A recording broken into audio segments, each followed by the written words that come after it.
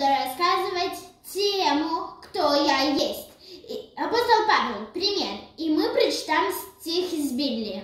1 Коринфянам 15 глава, 10 стих. Но благодатью Божией есть то, что есть. И благодать Его э, во мне не была тщетна, но я более всех их потрудился. Не я, впрочем, а благодать Божья, но, э, которая со мной.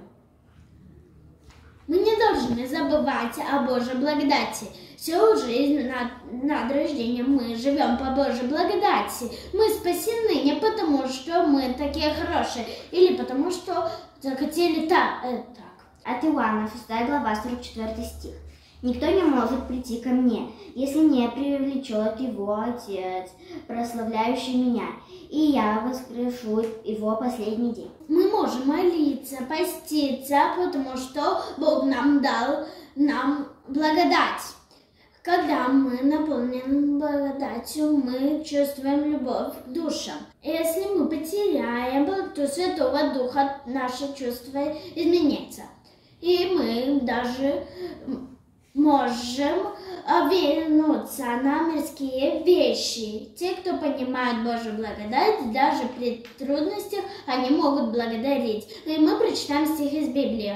Исайя 49 глава, 15 стих. «Забудет ли женщина грудное дитя свое, чтобы не, пожа... чтобы не пожалеть сына чрева своего? Но если бы и она забыла, то я не забуду тебя». Мы вне зависимость от реальности и ситуации Бог не забирает свои благодати. Но мы почему их? Но почему мы их не чувствуем благодать?